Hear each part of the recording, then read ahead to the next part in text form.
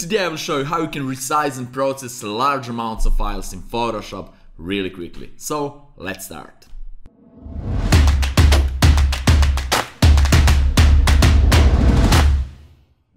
Hey guys, it's Nemanja and welcome to another fun episode.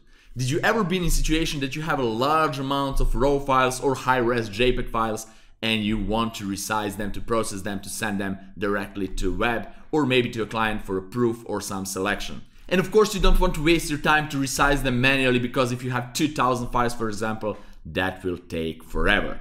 And today I will show you two common ways how you can resize them really quickly automatically in Photoshop and do with the rest of time whatever you want. So without further ado, let's jump straight into Photoshop and let the fun begin.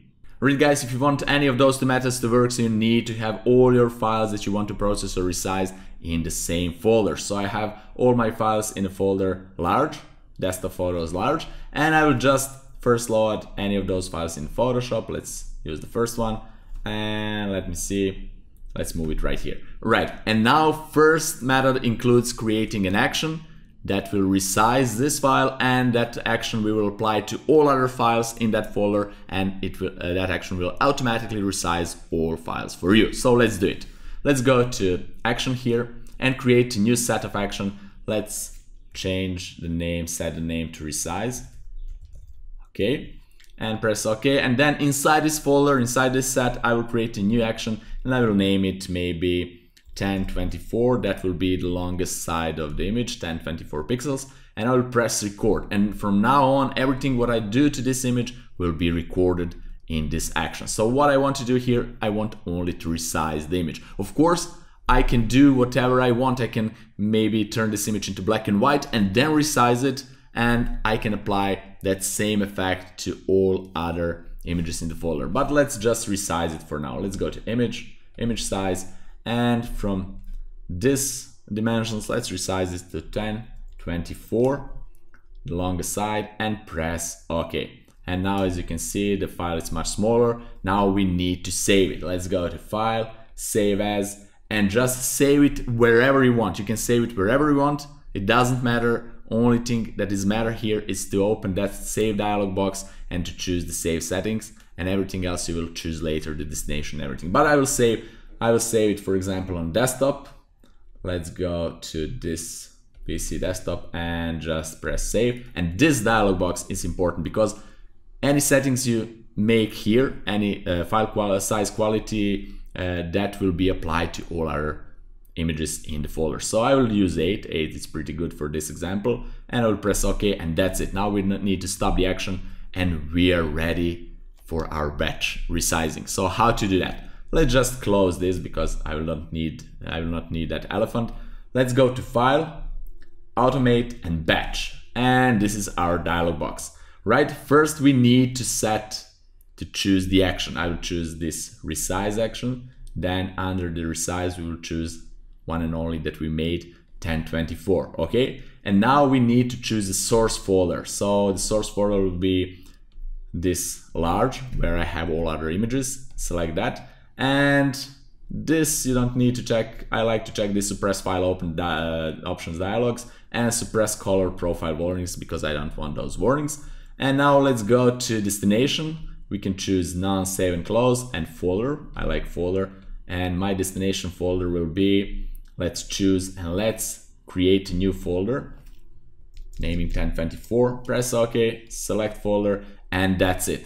That's all you need to do. If you want to rename your files or to add something else to your files, date, year, etc., you can do by clicking here and it will add to the file name that. But I don't want to do this.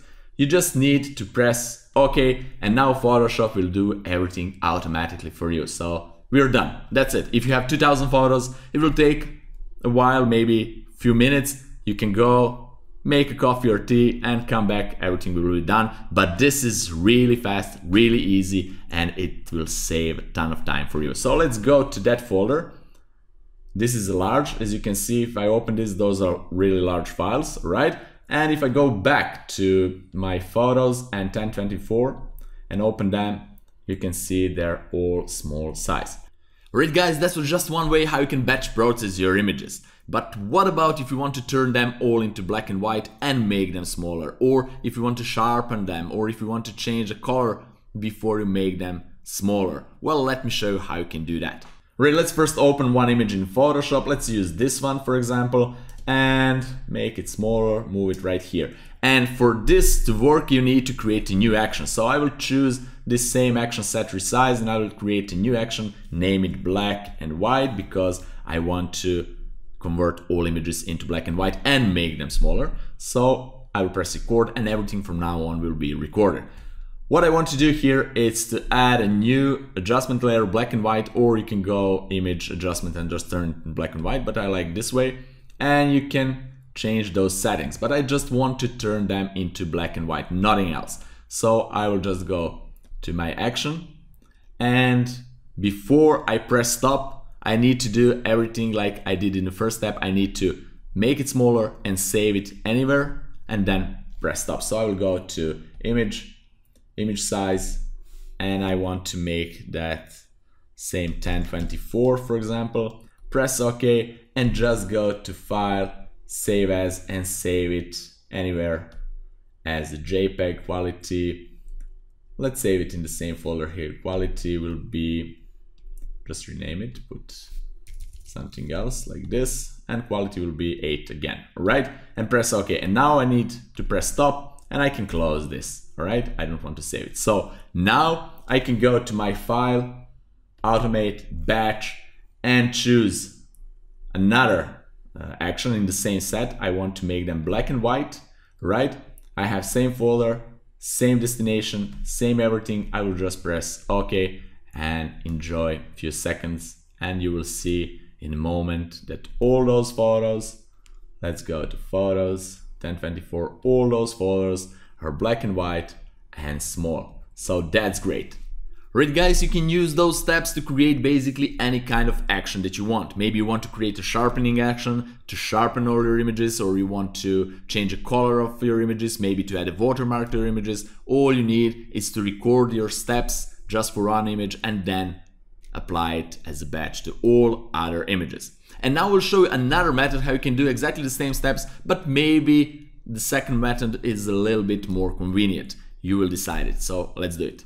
Right guys, for this second method to work, we actually don't need to open any file inside Photoshop. We just need to run that script and enjoy. So let's do it. Let's go to File, Scripts and go to Image Processor. And this is all we need. We have four different steps, one, two, three, four, and all we need is to follow those steps. So first step uh, is to select this, uh, the source folder where our files are. With that addition that we have another bonus option here and that is include all subfolders which is great because if we have a lot of subfolders and we want to include all of them in our batch process we can do this here. Because I don't have them I will not check this. So I will choose my folder which is large all right?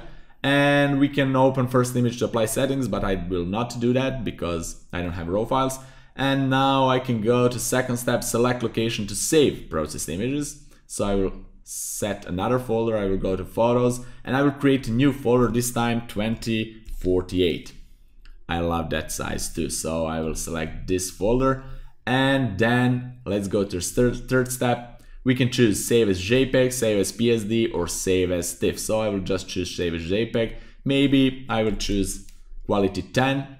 We can convert uh, profile to sRGB automatically if they're in some other profiles and we want to send them uh, for web then we need to convert profile to sRGB, right? And now we need to choose width and height. So for width, I will leave 2048 and for height I will leave 2048. This doesn't mean that it will resize our photo to a square. It actually means that uh, if the photo is in landscape, then uh, the longest side will be shrink to 2048 pixels. If the photo is in portrait mode, portrait or orientation, then the longest size, the height will be shrink to 2048 pixels. So that's it.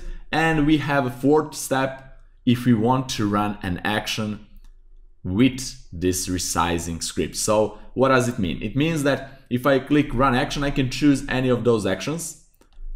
For example, this dreamy look that I have as an action, and I can apply any kind of look with resizing. So that's in my opinion, it's a little bit better because you can create an action that doesn't include resizing inside that action. You can just create an action to uh, to transfer to to convert your images into black and white, or to change a color, or to do whatever else you want, and you can uh, use that action later in your regular retouching. But if you want to use it while you're resizing your images, you can add it as addition. So that's great. I will not use any kind of action right now. I will just run this and wait for a few seconds for Photoshop to resize all of those photos.